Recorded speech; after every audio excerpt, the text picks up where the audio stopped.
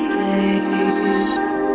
With every path you take, you know you're safe, safe, safe. The only risk is that you'll go insane.